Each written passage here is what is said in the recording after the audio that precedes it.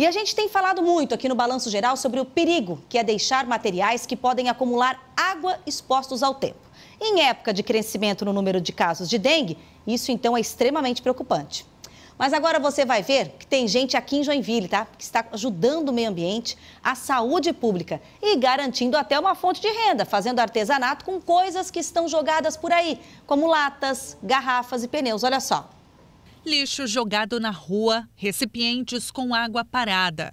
Um cenário ideal para a proliferação da dengue. Joinville já tem mais de 6.200 focos do mosquito Aedes aegypti, a maioria dentro das próprias residências. Muitos dos materiais descartados de forma regular e irregular poderiam ser reaproveitados. E é isso que a Filomena faz. Moradora do bairro Bom Retiro, há sete anos, ela se dedica ao artesanato. A partir de latas, garrafas, rolhas e até fios de telefone, ela cria vasos, cachepô e outros objetos de decoração. Eu era professora né, com os meus alunos é, sempre nas minhas aulas de artes, de arte eu procurava usar pincel com eles. E aí parei de trabalhar e eu senti falta disso. Ah, não, vou aproveitar o meu tempo vago com isso, né, já que eu gosto tanto. E aí surgiu o reciclável. Transformar objetos e dar outra utilidade ao que antes seria descartado. Esse é o objetivo do artesanato sustentável, uma forma não só de contribuir para a renda familiar, mas também para o combate à dengue. Numa simples caminhada, nós procuramos observar o que tem de legal, que dá para aproveitar. Desde uma garrafa, uma lata, é, um fio de telefone que fica na calçada, que eles não utilizam, cortam, né? Fazem o trabalho deles, eles cortam e aquilo fica caído ali. A gente também procura trazer para casa. Aí eu já fico com a cabeça mil, assim, pensando o que, que eu vou fazer com aquele, com aquele produto ali encontrado, né? Estima-se que cada brasileiro produza cerca de um quilo de lixo por dia. Se Joinville possui 600 mil habitantes, segundo dados do IBGE, isso significa que por ano são produzidos 219 mil toneladas de lixo. Além de ser um hobby, o trabalho ressignifica materiais que levam centenas e muitas vezes milhares de anos para se decompor na natureza.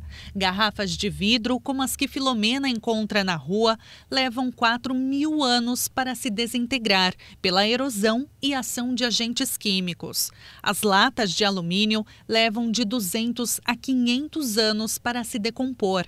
Já os pneus podem demorar 600 anos e durante todo esse tempo, o processo de decomposição pode causar contaminação do solo e da área onde o objeto se encontra, além de acumular água, tornando-se grandes focos do mosquito Aedes aegypti. Se queimados, o material solta gases tóxicos que poluem o ar. Por isso, assim como Filomena, Ana Carolina, moradora do bairro Cubatão, enxergou na reciclagem uma forma de contribuir com o meio ambiente. Há quatro anos, ela transforma pneus que seriam descartados em puffs, mesinha e até camas de pets. Esse trabalho assim é justamente para isso, né? Para mostrar o exemplo é, da mulher, né? A mulher mostrar que o pneu ele desde que bem trabalhado ele faz vários trabalhos, né? Dá para fazer várias funções e conscientizar, né? Que bem descartado o pneu ele sai altos trabalhos, né? Muitos trabalhos bonitos.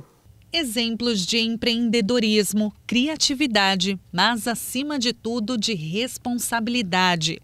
Atitudes como as de Filomena e da Ana Carolina mostram para todos a necessidade de mudanças de comportamento. Quando nós observamos, principalmente em terrenos vazios, né, que não nós vemos uma lata jogada, uma garrafa, a gente já pensa nisso, né? Pode ter água. O que a gente pode fazer, a gente está sempre fazendo, contribuindo com a natureza. Aqueles que não tenham de descartar, mostrar para vocês que talvez despertar esse lado artesão também, como foi despertado em mim, né? E ver que o, o, o pneu, assim, ele tem uma utilidade, ele tem uma durabilidade ótima. E conscientizar, né? Que o lixo, muitas das vezes, né, para muitos se torna luxo. Lixo que vira luxo. Beleza, inspiração e mais do que nunca sustentabilidade até saúde em tempos de dengue, em tempos de mosquito Aedes aegypti. Que exemplo e que inspiração, hein? Vai que você é daquelas pessoas que acaba tendo no dia a dia muito dessas embalagens? Quem sabe, ó, entre em contato, aprende, ou se você já faz, manda até para o nosso WhatsApp aqui, o 988846107. Eu sei que tem gente que, quando chega uma época, às vezes é Páscoa, Natal, tem ideias incríveis de sustentabilidade que tira o que seria um lixo ali para acumular água para virar algo belíssimo. O Dia das Mães está aí também. Imagina um arranjo daquele ali num vaso bonito. Ótimo presente, está ajudando no nosso planeta.